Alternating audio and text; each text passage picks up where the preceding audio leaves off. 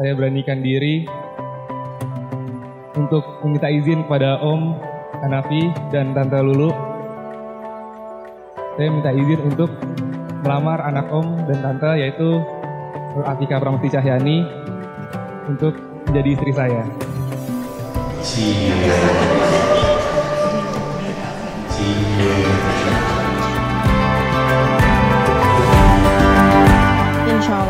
kalau mama dan papa memperbolehkan, mengizinkan, kita mau. Jadi jawabannya apa? Mau. Insya Allah mau. Insya Allah mau.